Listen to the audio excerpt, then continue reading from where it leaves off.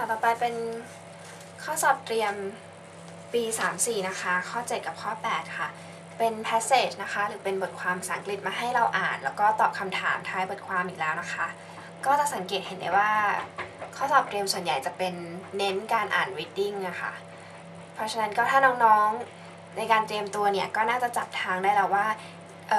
ควรจะฝึกอ่าน reading หรือว่า passage ภาษาอังกฤษไว้เยอะๆนะคะ เวลาเข้าห้องสอบจะได้ไม่ ตกใจ เวลาต้องอ่าน reading เยอะๆ ค่ะเดี๋ยวข้อนี้นะคะ เดี๋ยวพี่จะอ่านบทความให้ฟังก่อนหนึ่งรอบค่ะ As old and primitive as dinosaurs, the crocodile has always inspired reverence and fear in men. Some scholars believe the Leviathan, the sea monster in the Old Testament, is a crocodile. He is the chief of God's works, the book of Job declares. In his jaws, he crushes all wild beasts. Egyptian priests worshipped the Nile crocodile and built the ancient city of Crocodilopolis in the honor. Big Bill Niji, an aboriginal elder of the Northern Territories Gagaju tribe, says, Our people never harm the big crocodiles, even if they kill someone. They are the returned spirits of our ancestors.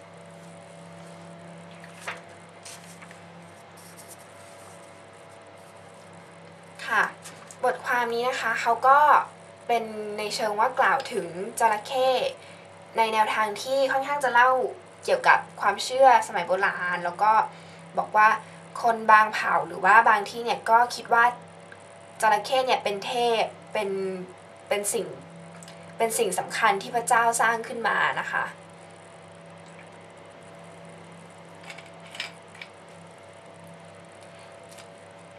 มาดูในประโยคแรกนะคะ as old and primitive as dinosaurs ค่ะคำว่า old นะคะ น้องๆก็เออคงน่าจะรู้นะว่าเป็นแปลว่าแก่ใช่ไหมคะ he is an old man ก็แปลว่าเขาเป็นผู้ชายที่แก่แล้ว แต่อันนี้ก็คือเหมือนกัน แต่ว่าจะเป็นในเชิงของคำว่าเก่าแก่ซะมากกว่าค่ะ ส่วนคำว่า primitive นะคะ อันนี้ค่ะ primitive นะคะจะแปลว่าในยุคแรกๆ หรือแปลว่ารากฐาน แบบว่าใน ในหมายถึงว่าในยุคเก่าแก่หรือว่าในยุคแรกเริ่มต้นนั่นเองนะคะในประโยคนี้ก็เลยแปลว่าเออจระเข้เนี่ยก็ทั้งเก่าแก่แล้วก็อยู่ในยุคแรก ๆ เช่นเดียวกับไดโนเสาร์นั่นเองแล้วจระเข้เนี่ยก็ได้เป็นสิ่งที่ inspire ค่ะคำว่า inspire เป็น verb นะคะ ที่แปลว่ากระตุ้น กระตุ้นหรือว่าดนใจ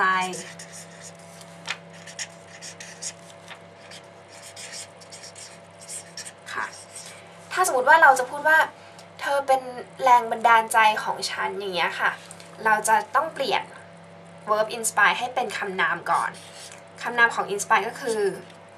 inspiration ค่ะ เราตัดตัว e ทิ้งแล้วก็เติมตัว a แล้วก็ t i o n ลงไปนะคะ เป็นคำนามแปลว่าแรงบันดาลใจ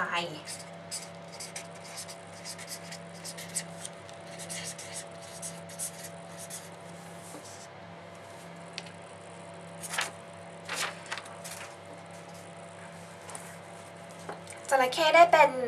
ได้กระตุ้นหรือว่าโดนใจ คนให้นึกถึง reverence ำนาม reverence แปลว่า ความเคารพ หรือว่ายำเกรงค่ะ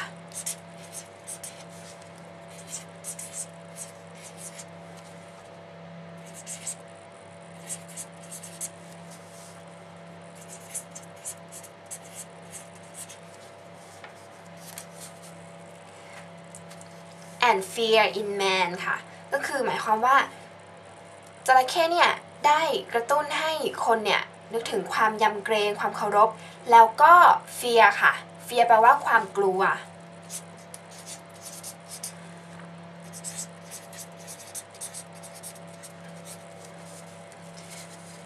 Some scholars believe the Leviathan the sea monster in the Old Testament is a crocodile ค่ะ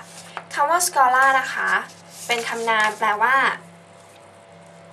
นักปราชญ์นั่นเอง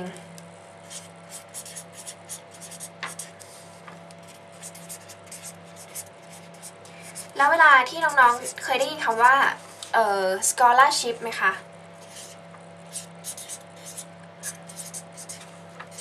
scholarship ก็เป็นคำนามค่ะ แต่ไม่ได้แปลว่านักปราชญ์แต่แปลว่า ทุนการศึกษา อย่างเวลาที่พี่ๆ ที่เขาเก่งๆ เขาได้ทุนเอ่อทุนเล่าเรียนหลวงเนี้ยค่ะเราก็จะเรียกว่า King Scholarship ก็คือเป็นทุนของที่พระมหากษัตริย์หรือว่าทางหลวงเนี่ย ได้ส่งเสียให้ไปเรียนนั่นเอง นี่ก็คือแปลว่านักปราชญ์บางบางท่านเนี่ยก็กล่าว ก็ได้มีความเชื่อว่า the Leviathan ค่ะคำนี้นะคะเป็นความจริงคำนี้เป็นคำศัพท์ยาก ซึ่งพี่เองก็เพิ่งรู้เหมือนกันว่ามันแปลว่าอะไร เพราะว่าไม่ใช่คำในชีวิตปกติที่เราจะได้เจออะแต่อันนี้เราก็รู้ไว้เพราะว่าเขายกขึ้นมากล่าวในบทความนี้นะคะ คำนี้เนี่ย แปลว่า สัตว์ทะเลขนาดใหญ่ที่กล่าวไว้ในคัมภีร์ไบเบิลค่ะ แต่ความจริงแล้วเนี่ยในบทความนี้เนี่ยเขาก็แอบมีคำแปลมาให้เราแล้วเหมือนกันนะ ถ้าอ่านต่อไปก็คือ some scholars believe the Leviathan แล้วเขาก็คอมมา the sea monster in the Old Testament the sea monster ค่ะ monster แปลว่า สัตว์ประหลาด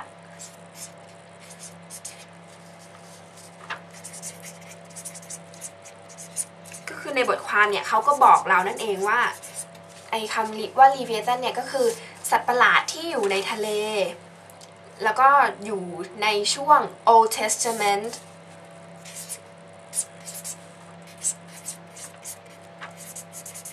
Old Testament เนี่ย เป็นคำที่แปลว่า เออคัมภีร์ไบเบิลฉบับเก่านะคะ คือมันจะมี New Testament กับ Old Testament เป็นคัมภีร์ไบเบิลทั้งสองอย่างเลย ก็คือนักปราชญ์เนี่ยเชื่อว่าสัตว์ที่ชื่อลีเวียตันเนี่ยเป็นที่เป็นเออสัตว์ประหลาดในทะเลอยู่ในที่กล่าวไว้ในคัมภีร์เนี่ยบางนักปราชญ์บางท่านเขาก็เชื่อว่าความจริงแล้วเนี่ยมันก็คือจระเข้นั่นเอง แล้วเขาก็พูดต่อไปว่า he is the chief of God's work ก็คือ the chief of God's work ค่ะ chief เนี่ยความจริงแล้วเนี่ย จะแปลว่า หัวหน้าก็ได้ ในอำเภอก็ได้ แต่ว่าในบทความนี้เนี่ย เราคิดว่ามันน่าจะแปลว่า ส่วนสำคัญ หรือว่างานสำคัญนั่นเอง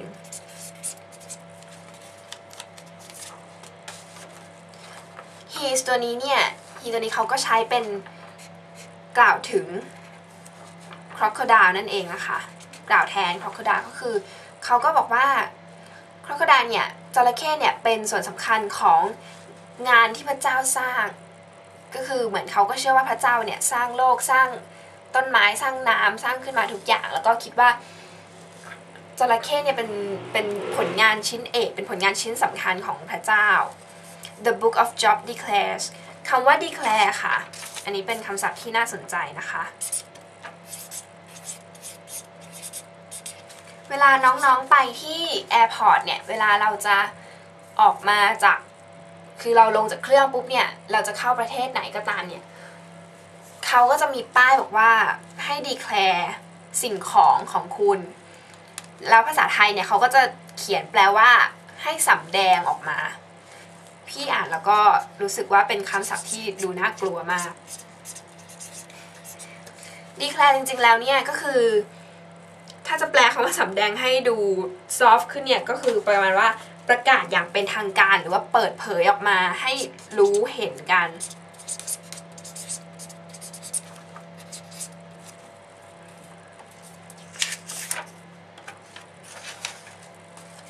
In his jaws he crushes all wild beasts คำว่า crush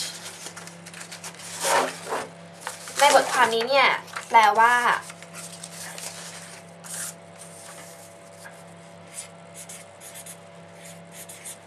บท บีบ ขยี้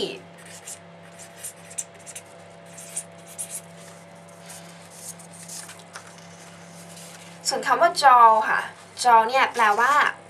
กราม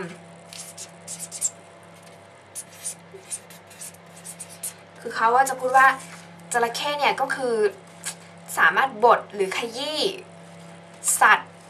สัตว์ประหลาด สัตว์อะคำว่า wild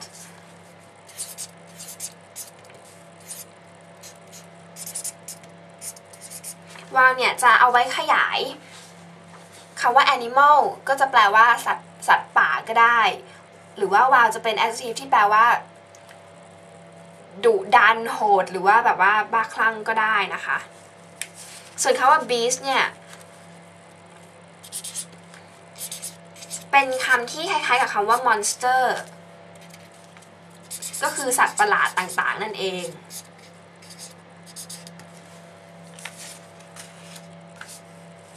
ประโยคต่อไปค่ะ Egyptian priest worship the Nile crocodile Egyptian ค่ะ ก็คือชาวอียิปต์ส่วนคำว่า priest เนี่ย แปลว่าพระหรือว่าบาทหลวง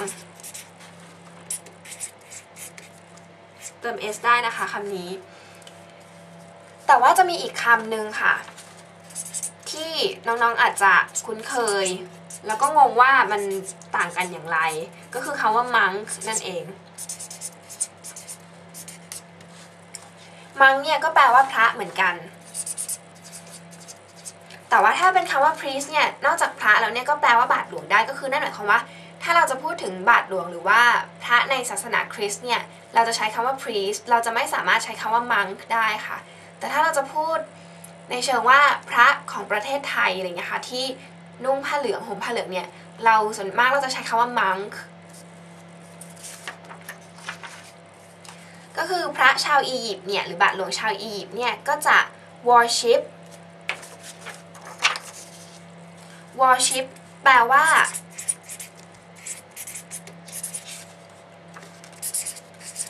คล้ายๆว่าเหมือนบูชา ก็คือเขาจะพูดว่าพระชาวอียิปต์เนี่ยก็บูชาจระเข้ในแม่น้ำนาว แล้วก็ built the ancient ancient นะคะแปลว่าโบราณ เป็น adjective ไว้ขยาย ก็คืออันนี้เขาไว้ขยาย city ก็คือ ancient city ก็คือแปลว่าเมืองโบราณเอ่อ crocodilopolis นะคะ อันนี้ก็เป็นศัพท์ยากที่เราไม่ค่อยเจอกันในชีวิตประจำวัน อันนี้เนี่ย แปลว่า นครเก่าแก่ที่ตั้งชื่อเป็นเกียรติแก่จระเข้ เห็นสังเกตจะมีคำว่า crocodilo นะคะก็คือเหมือนมันเรียนเสียงมันจะคล้ายๆว่า crocodile อย่างเงี้ยค่ะ ส่วน police เนี่ยเราก็อาจจะเห็นต่อท้ายชื่อเมืองอย่างเช่น metropolis อะไรเงี้ยค่ะ ก็คือเอามารวมกันแล้วเนี่ยคือเขาเอาคำศัพท์มาเชื่อมกันกลายเป็นว่านครของจระเข้อะไรอย่างเงี้ยค่ะ in the honor ค่ะ in the honor คือเราก็แปลประมาณว่าเหมือนเพื่อให้เป็นเกียรติ honor แปลว่าเกียรติยศ ก็คือเขาตั้งชื่อเมือง เอาไว้เพื่อให้เป็นเกียรติแก่จระเข้ค่ะ เพราะว่าชาวอียิปต์เนี่ยพระชาวอียิปต์ก็คือนับถือบูชาจระเข้ในแม่น้ำนายค่ะ ต่อไปค่ะ Big Bill n i j i ค่ะ อันนี้น่าจะเป็นชื่อคน an aboriginal elder of the northern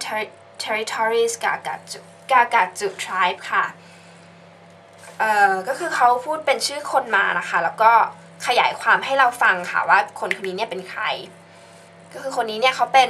aboriginal elder aboriginal เอ่อน้องๆน่าจะเคยรู้จักคำว่าเผ่า aborigin ใช่ไหมคะ aborigines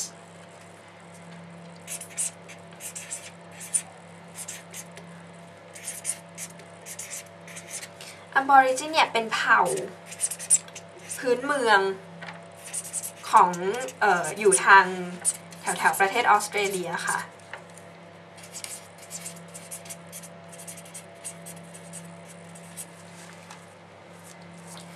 ส่วนคำว่า elder aboriginal elder ก็คือเราเอาคำว่า aborigin เนี่ยมาทำให้เป็น adjective เพื่อที่จะขยาย elder ซึ่งคำว่า elder ก็แปลว่า ผู้เฒ่าหรือว่าคนโบราณอะไรอย่างเงี้ยนะคะ ก็คือคนโบราณชาวเผ่า aborigin elder เนี่ย เราจะเจอ เราเคยเราน่าจะเคยเจอมาก่อนจากการที่เราพูดว่า my older sister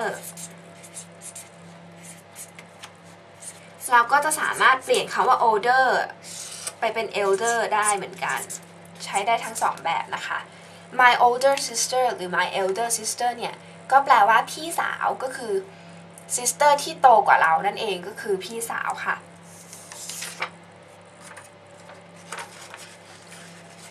ส่วนคุณคนนี้นะคะเขาก็เป็นผู้เฒ่าของเผ่าอบอริจินเนี่ยซึ่งเผ่าอบอริจินนี่ก็คือเป็นอยู่ทางฝั่งเหนือ เพราะจากคำว่า northern เนี่ย northern territory northern ก็คือเป็นคำที่เอาไว้ขยาย territory อีกที ปกติแล้ว north ก็จะแปลว่าทิศเหนือถูกไหมคะ ถ้าเราอยากจะทำให้มันเป็น เอ่อ บอกส่วน ส่วนของแผ่นดินหรืออะไรอย่างนี้เนี่ย เราก็จะใช้เติมให้เป็นว่า northern หรือว่าถ้าเป็นแม้จะเป็นคำว่า south สิ่งเงี้ยค่ะ ที่แปลว่าทิศใต้ เวลาเราจะบอกว่าภาคใต้ของเมืองไทยเนี่ย เราก็จะใช้คำว่า the southern part of Thailand ค่ะ หรือว่าภาคเหนือก็คือ the northern part of Thailand ส่วนคำว่า territory ค่ะ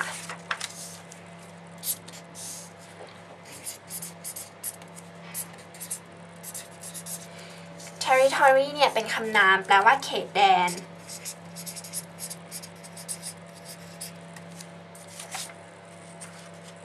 กากาจุ tribe tribe เป็นคำนามแปลว่า เผ่า ชนเผ่านั่นเอง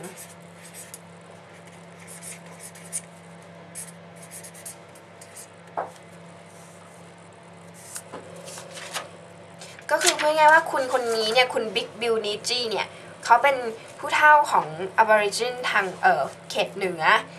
ก็คือเผ่ากากาจุ tribe เผ่าชื่อนี่คือชื่อเผ่านะคะ เขาก็ได้พูดว่า คนของเขาเนี่ย our people เนี่ย never harm ไม่เคยทำร้าย harm แปลว่าทำร้าย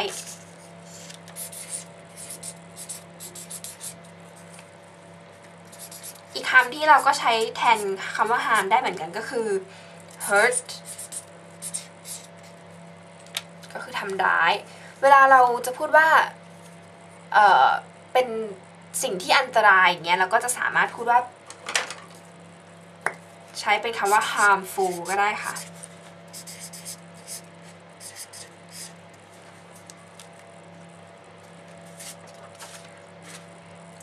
คุณผู้ท่าเขาก็พูดว่า คนของเขาไม่เคยทำร้ายจระเข้ตัวใหญ่ the big crocodiles even if ถึงแม้ว่าคำว่า even if แปลว่าถึงแม้ว่า they kill someone they ตัวนี้เนี่ยก็คือใช้แทนคำว่า crocodile ใช้ เรียกแทน crocodile นั่นเอง ถึงแม้ว่าเจะพวกจระเข้เนี่ย จะฆ่าคนในเผ่าหรือใครก็ตามเนี่ย เพราะเขาเชื่อว่า they are the return spirits of our ancestors ก็คือ ชนเผ่าเนี่ยเขาก็เชื่อว่าจระเข้เนี่ยเป็น return spirits ก็คือ spirits ก็คือเหมือนวิญญาณนะคะ เป็นวิญญาณที่กลับมา return ก็คือกลับมาของคำนี้เนี่ยแปลว่าบรรพบุรุษ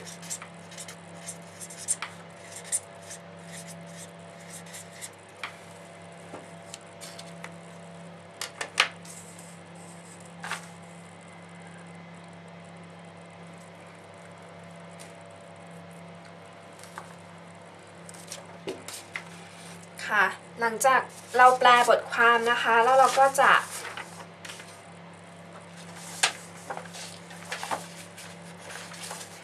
ขึ้นโจทย์ข้อ 7 ค่ะ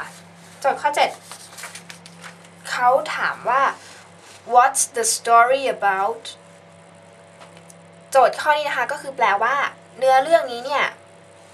เกี่ยวกับอะไร ข้อหนึ่งเขาให้ choice มาว่า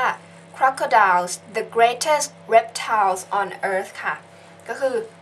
เหมือนเป็นชื่อชื่อชื่อบทมาเลยว่าจระเข้สัตว์เลื้อยคลานที่ยิ่งใหญ่ที่สุดบนโลกคำว่า reptiles ตัวนี้นะคะ แปลว่าสัตว์เลื้อยคลาน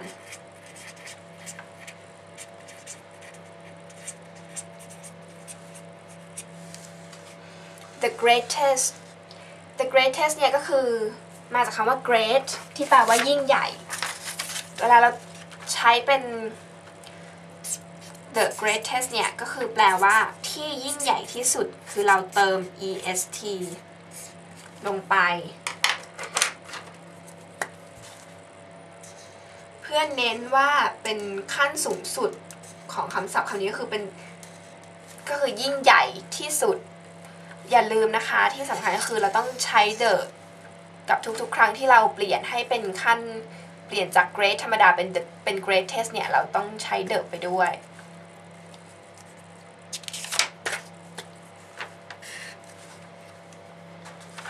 ต่อไปค่ะ ข้อ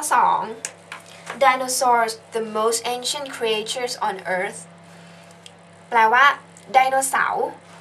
สิ่งมีชีวิตที่โบราณ เก่าแก่ที่สุดบนโลก คำว่า creatures ค่ะ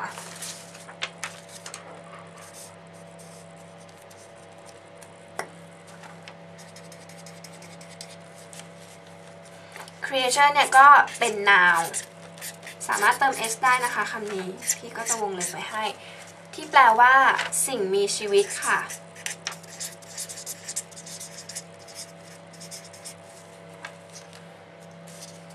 แล้วจะมีอีกคำหนึ่งนะคะที่ มีความหมายเหมือนกับ creatures ก็คือคำว่า living things ค่ะ living นะคะก็แปลตรงตัวก็คือมีชีวิตอยู่ สามารถเติม s ได้เหมือนกันนะคะ มีความหมายว่าเป็นสิ่งมีชีวิตเหมือนกันค่ะ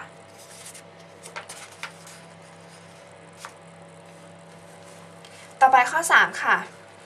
The Leviathan the sea monster in the Old Testament ก็คือ Leviathan เนี่ยก็คือเหมือนเป็นสัตว์ประหลาดมหึมาที่กล่าวไว้ในไบเบิลใช่ไหมคะ อันนี้เขาก็คือเหมือนเป็นยกมาว่า Leviathan สัตว์ประหลาดในทะเลที่ถูกกล่าวไว้ในไบเบิลก็คือ Old Testament ก็คือไบเบิลฉบับเก่านั่นเอง ต่อไปค่ะข้อ 4 Crocodilopolis the ancient city built in honor of the crocodile ก็คือเป็นชื่อเมือง Crocodilopolis เมืองเก่าแก่ที่ถูกสร้างขึ้นเป็นเกียรติให้กับจระเข้ in the honor of ค่ะ เพื่อเป็นเกียรติแก่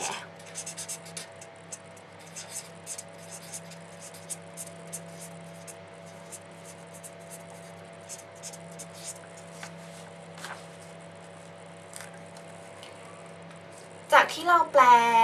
บทความนี้มานะคะเออใจความหลักๆของมันเนี่ยก็คือการที่พูดเกี่ยวกับจระเข้ว่าเป็นสิ่งมีชีวิตที่ยิ่งใหญ่แล้วก็เก่าแก่บนโลก ที่เขาก็พูดว่าเก่าแล้วก็เก่าแก่แล้วก็โบราณพอๆกับไดโนเสาร์แล้วก็มีผู้คนคิดว่านักปราชญ์ก็คิดว่าเป็น สิ่งมีชีวิตที่ถูกกล่าวไว้ในไบเบิลก็คือตัวจระเข้นี่แหละ เป็นผลงานที่สำคัญของพระเจ้าเลย แล้วก็ที่บอกว่ามีชนเผ่าอบอริจินเนี่ยก็เชื่อว่าแบบเป็นวิญญาณที่กลับมาของเหล่าบรรพบุรุษ ก็คือคิดว่าจระเข้เนี่ยเป็นสิ่งที่ศักดิ์สิทธิ์แล้วก็ยิ่งใหญ่เป็นสัตว์ที่แบบยิ่งใหญ่มากนะทั้งในประวัติศาสตร์ แล้วก็ทั้งในความเชื่อของเขาเอง ฉะนั้น ใจความหลักๆเนี่ยก็คือแน่นอนว่าน่าจะต้องเกี่ยวกับจระเข้ถูกไหมคะ อย่างข้อ 2 นี้เป็นไดโนเสาร์ไดโนเสาร์สิ่งมีชีวิตที่เก่าแก่ที่สุดบนโลก พี่ก็คิดว่ามันมันก็ไม่น่าจะใช่ใจความสำคัญหลักนะข้อนี้ก็น่าจะตัดทิ้งออกไป ต่อไปข้อ 3 อันนี้ก็มีกล่าวถึงไว้ในเนื้อเรื่องอีกว่าสัตว์ประหลาดที่ชื่อลีเวียซันเนี่ยเป็นแบบสัตว์ประหลาดในน้ำทะเลที่ถูกกล่าวไว้ในไบเบิล แต่ว่ามันไม่ใช่ใจความหลักๆ อันนี้มันเป็นแค่ส่วนหนึ่งที่เขายกตัวอย่างขึ้นมาให้ฟังเหมือนว่าทำไมแบบจระเข้ถึงเป็นสัตว์ที่ยิ่งใหญ่ ต่อไปข้อ4เนี่ย อันนี้ก็มีกล่าวไว้ในบทความเหมือนกัน แต่ว่าก็เป็นก็เหมือนข้อ 3 มันเป็นแค่ส่วนหนึ่ง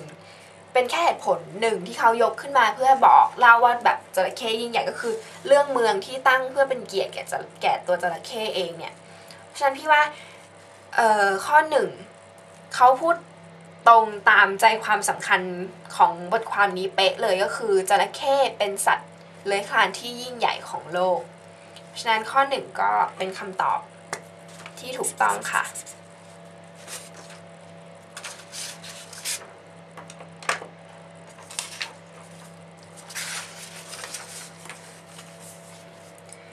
อ่าต่อไปยังอยู่ในเรื่องของบทความนี้อยู่ค่ะ ก็เป็นข้อต่อไปคือข้อ 8 ข้อ 8เขาพูดว่า which is not true according to the passage above ก็คือเขาถามว่าข้อไหนไม่ใช่เรื่องจริง ถ้าเราอ้างอิงจากบทความที่อ่านไปเมื่อครู่ก็คือ passage above ก็คือบทความที่อยู่ข้างบนของข้อสอบนี้ก็คือ passage เมื่อกี้นั่นเองนะคะคำว่า according to ค่ะ อันนี้เราจะเจอบ่อยมาก ไม่ว่าจะเป็นในข้อสอบหรือว่าเป็นไหนๆก็ตาม จะมีคำที่มีความหมายเหมือนกันก็คือ regarding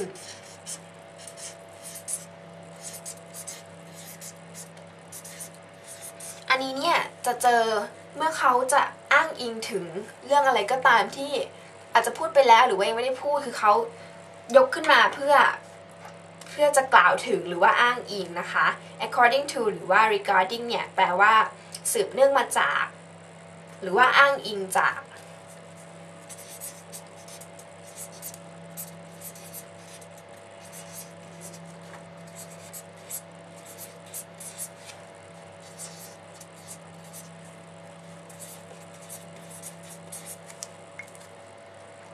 อะข้อนี้ก็คือข้อใดที่ไม่จริง อ้างอิงมาจากบทความที่อ่านมาข้างบน ข้อหนึ่งเขาก็บอกว่า man have known about the crocodile for as long as they have known the dinosaurs ก็คือแปลว่า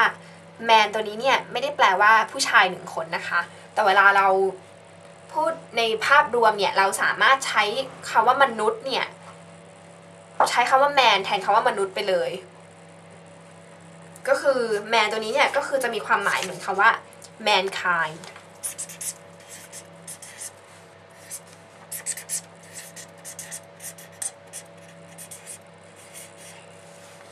แปลว่ามวลมนุษยชน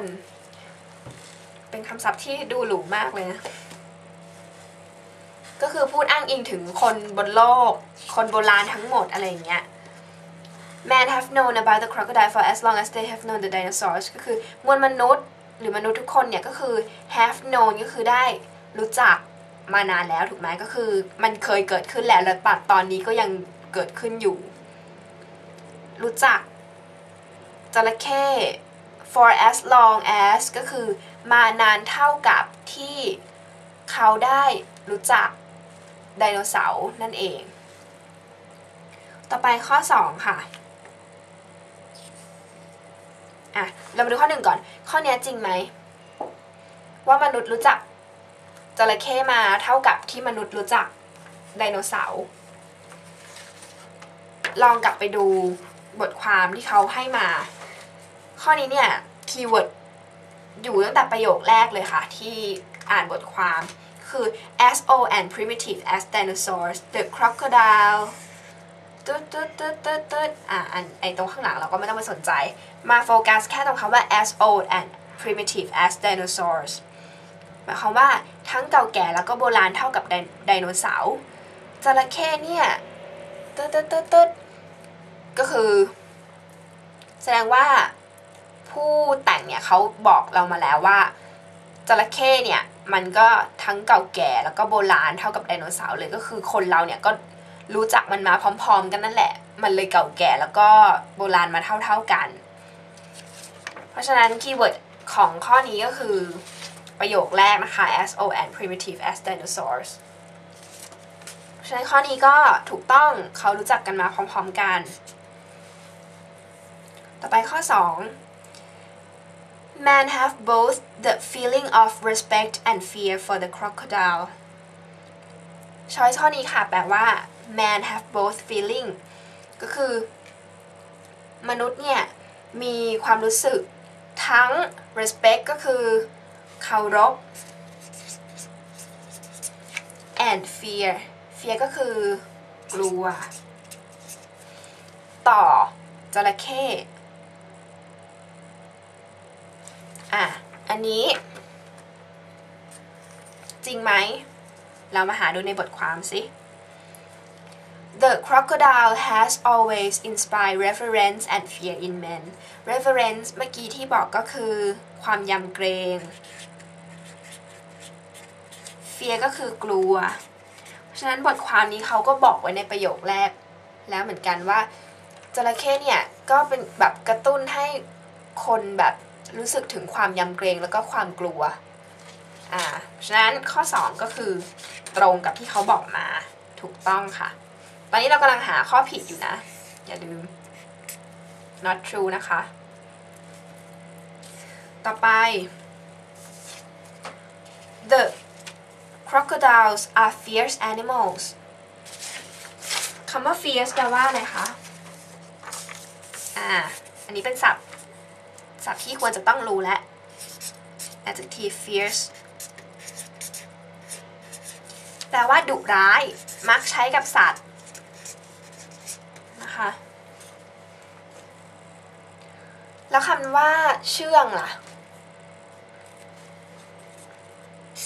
คำที่ตรงข้ามกับดุร้ายนะก็คือคำว่าเชื่องเราใช้คำว่า tame ค่ะ เวลาเราจะบอกว่าสัตว์ตัวนี้เนี่ยเชื่องแล้วแบบฝึกแล้วทำให้เชื่องแล้วคือ this lion is tame แล้วเติม ed ด้วยค่ะ อ่า ก็คือสิงโตตัวนี้เนี่ยถูกทำให้เชื่องแล้วนั่นเอง ข้อสามบอกว่าจระเข้เป็นสัตว์ที่ดุร้าย อันนี้ถูกต้องไหมคะ อันนี้คือเราเองไม่ต้องอ่านบทความนี้เราก็รู้เนอะว่ามันแบบเป็นสัตว์ที่ดุร้าย แต่ว่าถ้าเรามาดูแบบหาคีย์เวิร์ดในบทความก็คือ จะดูจากประโยคนี้ได้ in his jaws he crushes all wild beasts ก็คือใน กรามของเขาเนี่ยใช้บทขยี้สัตว์ต่างๆ อะไรเงี้ยสัตว์แบบที่ดุร้ายเหมือนกันนะ แต่แบบจระเข้ก็ยังกินได้อะไรเงี้ยก็คือหมายความว่าจระเข้เนี่ยก็ต้องเป็นสัตว์ที่ดุร้ายพอสมควรเลยใช่ปะดุร้ายมากเลยแหละทีนี้มาดูคำว่า jaw ที่พี่บอกว่ามันแปลว่ากรามใช่ไหมคะ จะมีคำหนึ่งที่สับสนบ่อยๆ แล้วก็ใช้กับสัตว์เหมือนกันก็คือคำว่า claw claw แปลว่าอะไรคะ กรงเล็บสะกดผิด กรงเล็บ อย่างเช่น กรงเล็บของเหยี่ยว อย่างเงี้ย แล้วก็ใช้คำว่า claw เหมือนกันอืมเนื่องจากข้อ 3 ก็ถูกต้องอีกแล้ว ทีนี้เราก็มาดูข้อ 4 หน่อย ข้อ 4 เขาบอกว่า dinosaurs as well as crocodiles have existed in the world since the earliest ages ก็คือไดโนเสาร์ก็เหมือนกับ crocodile เหมือนกับจระเข้ as well as as well as เนี่ย นอกจากจะแปลว่าเหมือนกันแล้วเนี่ย ก็คือรวมไปถึงก็ได้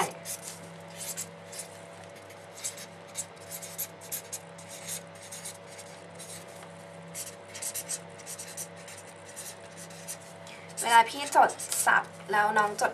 เออไม่ทันที่พี่ยกออกก็กด pause ไว้นะคะไดโนเสาร์รวมไปถึงก็เหมือนกับจระเข้เนี่ย ได้อยู่บนโลกนี้ have existed exist เป็น verb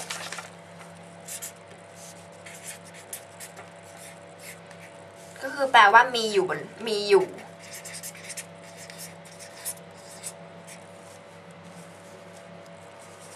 อืมมักจะใช้กับ เหมือนเวลาเราเรียนวิทยาศาสตร์แล้วก็บอกว่า เออแร่นี้มีอยู่ในบนดาวอังคารหรืออะไรอย่างเงี้ย ก็คือ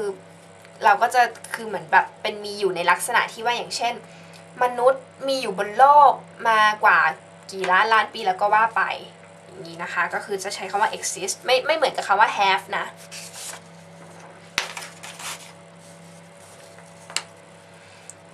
ไดโนเสาร์ก็เหมือนกับจระเข้มีอยู่บนโลกนี้ ตั้งแต่ earliest ages early แปลว่า เวลาเราบอกว่าเราตื่นเช้าเราบอกว่าเรา wake up early ใช่ไหมคะ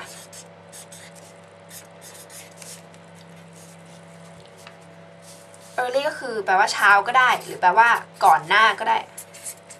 ก่อนอะไรอย่างเงี้ย ถ้า earliest age age ตัวนี้เนี่ยนอกจากจะแปลว่าอายุแล้วเนี่ยก็คือเหมือน age เหมือนเป็นยุคสมัยก็ได้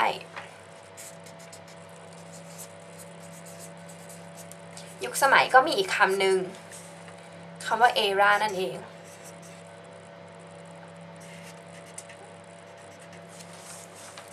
ทีนี้ earliest age ก็คือเหมือนเป็นยุคสมัยตั้งแต่โบราณมาก ๆ ตั้งแต่ช่วงก่อนหน้านู้นมาก ๆ เลย สังเกตอีกไหมคะว่า earliest เนี่ย เติม est ไปแล้วเนี่ยเขาก็จะต้องใช้คู่กับ the ที่พี่ย้ำไว้อ่าอย่าลืมนะไดโนเสาร์เหมือนกับจระเข้ที่อยู่บนโลกมาตั้งแต่ยุคแรก ๆ ของโลกเลย พี่ถ้าอ่านผ่านๆเนี่ย ก็จะรู้สึกว่าอะก็จริงถูกไหม ก็ไดโนเสาร์ก็ตั้งแต่โบราณก็ถูกต้องแล้วจระเข้ก็ตั้งแต่โบราณก็เมื่อกี้เขาบอกก็ถูกต้องแล้ว แต่ว่าที่มันผิดเนี่ยมันมีคำตัวหนึ่งที่มันทำให้มันผิดก็คือ have existed ค่ะ ผิดยังไง มันผิดเพราะว่า ถ้าสมมติบอกว่า have dinosaur กับ crocodile have existed นั่นแปลว่า ปัจจุบันนี้ไดโนเสาร์เนี่ย ก็ยังมีชีวิตอยู่บนโลกเหรอ ถูกไหมเพราะว่าถ้า have exist เนี่ย มันคือเคยมันคือมีชีวิตมาตั้งแต่อดีตจนถึงปัจจุบัน แต่ว่าตอนนี้เนี่ยไดโนเสาร์ก็คือมันก็ตายไปแล้วถูกไหมเราก็ไม่สามารถ ไม่สามารถบอกได้ว่าปัจจุบันมันยังมีชีวิตอยู่อะอันนี้เป็น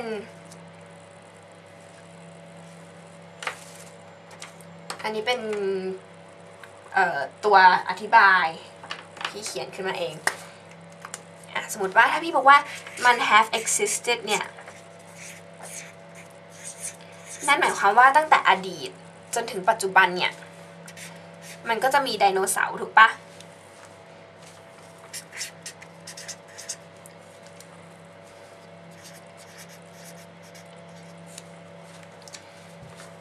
แต่ถ้าได นเสาร์มันตายไปแล้วเนี่ย ความจริงเขาควรจะใช้คำว่า have had existed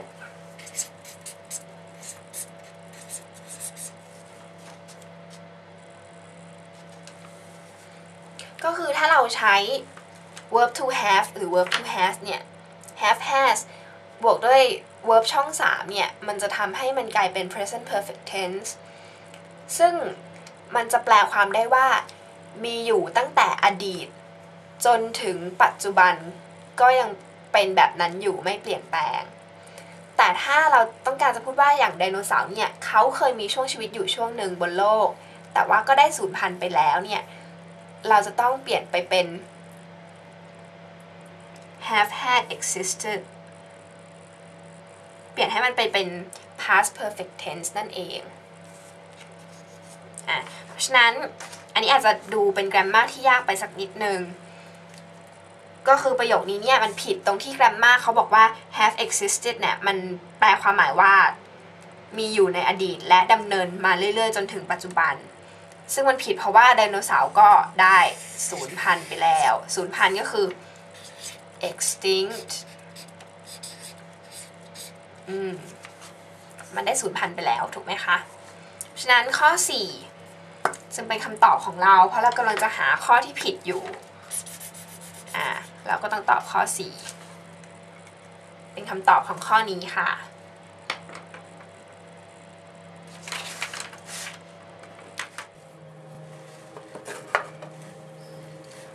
ข้อ 9 ค่ะ เขาให้คำสั่งว่า what is meant by the underlined words item 9 to 10 ก็คือคำสั่งเขาก็คือให้เราตีความของ สิ่งที่เขาขีดเส้นใต้ไว้นะคะ ก็อย่างเช่นอย่างนี้เป็นต้น ข้อ 9 นะคะ เขาถามว่า he earns a very small salary and can hardly live on it ค่ะ เขาก็คือให้เราตอบว่าคำว่า can hardly live on it ก็คือวลีนี้เนี่ย มันตีความได้อย่างไรนะคะ ในโจทย์ข้อนี้นะคะคำศัพท์ที่น่าสนใจค่ะ ก็คือคำว่า อ่ามาดูคำว่า earns ก่อนนะคะ he earns earns แปลว่าเอ่อได้ได้อะค่ะ ได้รับหรือว่าได้มา มักจะใช้กับ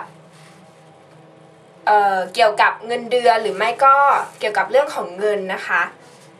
ส่วนคำว่า salary ค่ะ salary เนี่ย เป็นคำนามที่แปลว่าเงินเดือนนั่นเอง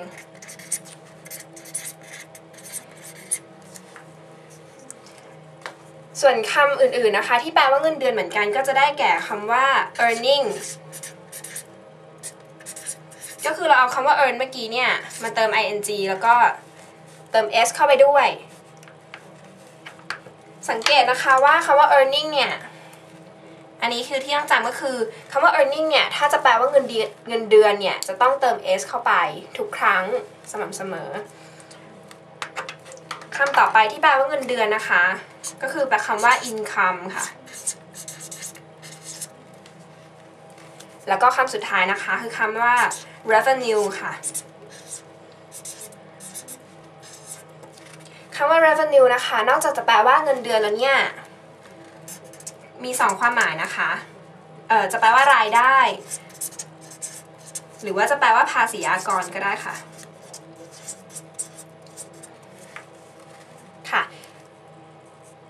สามคำนี้นะคะก็คือ synonym ของคำว่า salary นั่นเอง synonym ก็คือแปลว่าคำที่มีความหมายเหมือนกันนะคะ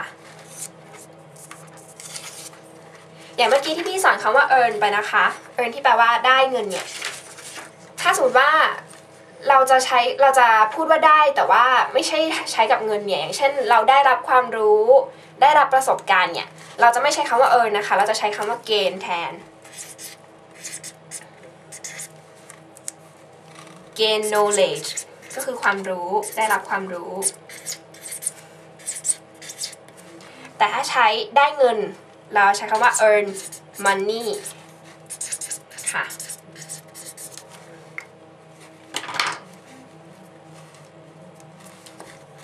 ก็คือสองคำนี้เนี่ยแปลว่าได้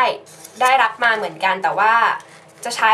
กับ noun คนละแบบเอ่อคำคนละแบบก็คือ gain ใช้กับความรู้ ประสบการณ์ gain experience อย่างเงี้ยนะคะ แต่ถ้า money เนี่ยจะใช้กับคำว่า earn เท่านั้นค่ะ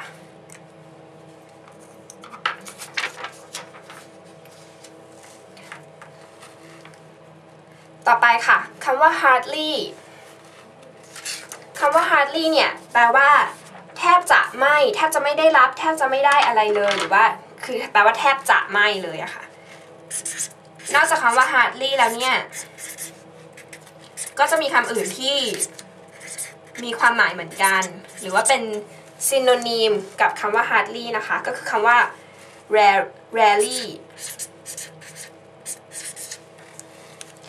rare ตัวนี้เนี่ย ปกติจะแปลว่า ของหายาก หรือว่าอะไรก็ตามที่มีน้อยหายากก็จะใช้คำว่า rare นะคะ ต่อไปคำต่อไปที่มีความหมายเหมือนคำว่า hardly นะคะ ก็คือคำว่า scarcely ค่ะ scarcely นะคะ S C A R C E L Y ค่ะ ก็มีความหมายว่าแทบจะไม่เหมือนกันนะคะ ต่อไปคำต่อไปนะคะ ที่มีความหมายเหมือนกันก็คือคำว่า barely ค่ะ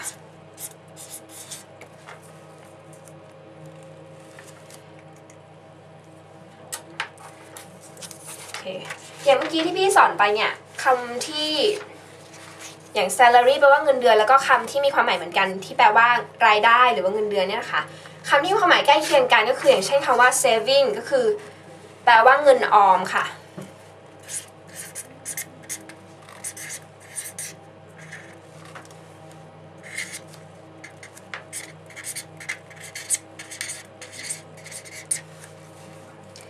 ค่ะข้อสังเกตที่สำคัญของคำว่า saving นะคะก็คือเราจะต้องเติม s เข้าไปเสมอ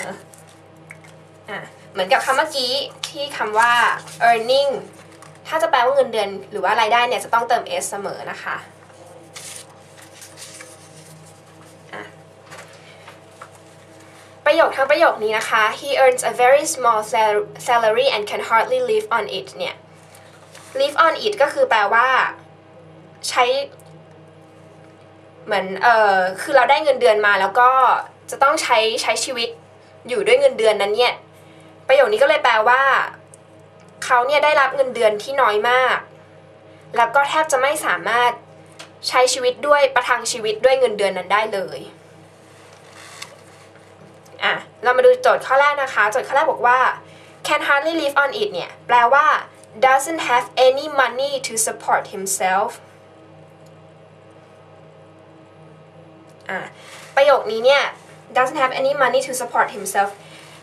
ถ้าเราจะเลือกข้อนี้เนี่ยมันแปลว่าเขาเนี่ย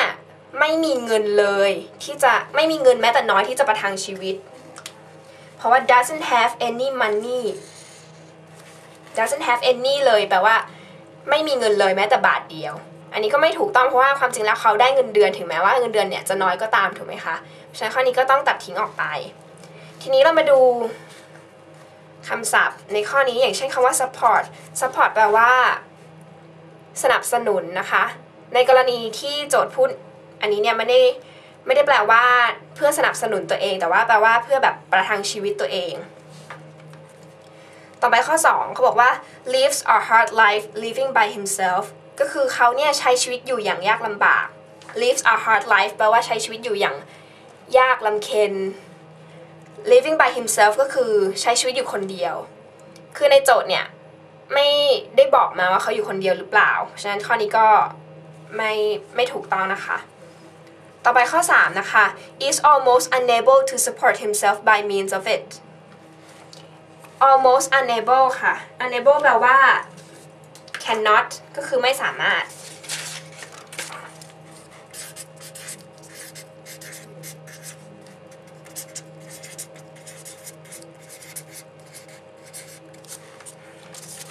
almost unable to support himself by means of it ก็คือเขาแทบจะไม่สามารถดำรงชีวิตอยู่ได้อะข้อนี้ก็ น่าจะเป็นคำตอบที่ถูกต้องนะคะ เพราะว่าใกล้เคียงกับความหมายของโจทย์มากที่สุด ต่อไปข้อ 4 เขาบอกว่า has nearly lost his life because of it lost his life ค่ะ ถ้าเขาพูดว่า lost lost one's life เนี่ยแปลว่า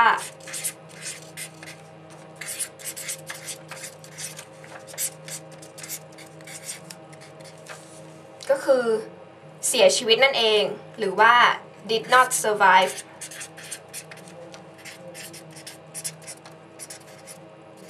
lost his life ก็คือเขาเนี่ย เกือบจะเสียชีวิตด้วยเงินเดือนที่น้อยเนี่ย อันนี้ก็ไม่ไม่น่าจะใช่ถูกไหมคะ เพราะว่าคือเขาอาจจะเงินไม่พอสำหรับการประทังชีวิตแต่ก็ไม่ได้หมายความว่าเขาจะต้องเสียชีวิตไปเลย เพราะฉะนั้นข้อ 10 นะคะ ก็จะตอบข้อ 3 ค่ะ ทีนี้พี่อยากให้ดูคำว่า almost นะคะ ในใช้ข้อ 3 almost จะมีคำศัพท์ที่มีความหมายเหมือนกับเขาอยู่ก็คือคำว่า nearly นะคะ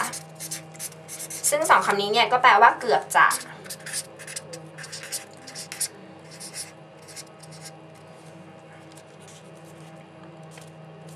ค่ะ ต่อไป ถ้ามาดูในโจทย์นะคะ พี่อยากจะชี้ข้อ ข้อที่อยากให้จำนะคะ คืออย่างเช่นคำว่า live on it live on something ก็คือเหมือนเราเประทังชีวิตได้ด้วยสิ่งนั้นนั่นเอง แล้วก็จะมีประโยคที่คล้ายๆกันหรือว่าคำที่เอาไว้ใช้คล้ายๆกันก็คืออย่างเช่น do something for a living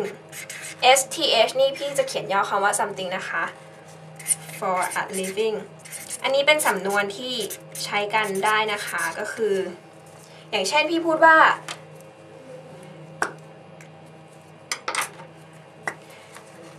this man sells books books หนังสือ for a living ก็คือหมายความว่าอาชีพของเขาเนี่ยก็คือการขายหนังสือนั่นเองก็คือเขาเนี่ยขายหนังสือเพื่อความเป็น for a living ถ้าเราแปลตรงก็คือเพื่อความอยู่รอดอะไรเงี้ยถูกไหมคะ ก็คือนั่นหมายความว่า พี่อาจจะพูดถึงว่าผู้ชายที่เปิดร้านหนังสือขายหรือว่าคนที่แบบขายหนังสืออะไรอย่างเงี้ยก็คือเขา this man sells books for a living ก็คือเขามีอาชีพขายหนังสือนั่นเองค่ะข้อนี้ก็จบไปแล้วนะคะ เราก็ต้องตอบข้อ 3 นะคะ แล้วก็ที่สำคัญก็คือควรจะรู้ว่าเออเนี่ย ใช้กับส่วนมากจะใช้กับ ได้เงินหรือว่าอะไรเงี้ย แต่ว่าถ้าใช้คำอื่นอย่างเช่นความรู้หรือว่าประสบการณ์จะใช้คำว่า gain ค่ะ ส่วนคำว่า salary นะคะก็คือเป็นคำศัพท์ที่แปลว่า เงินเดือนหรือว่ารายได้นะคะ ก็จะมีคำที่มีความหมายเหมือนกันก็อย่างเช่น earning income แล้วก็ revenue นะคะ ส่วนคำว่า can hardly hardly ก็จะมีความหมายแปลว่าแทบจะไม่ แล้วก็จะมีคำที่เหมือนกันก็คือ rarely scarcely แล้วก็ barely ค่ะ support แปลว่าสนับสนุนนะคะ แต่ในในประโยคนี้เนี่ยก็คือเหมือนใช้ความหมายไกลๆว่าประทังชีวิตนั่นเองค่ะ almost นะคะก็จะมีคำที่ความหมายเหมือนกันก็คือคำว่าเอ่อ nearly almost กับ nearly นะคะ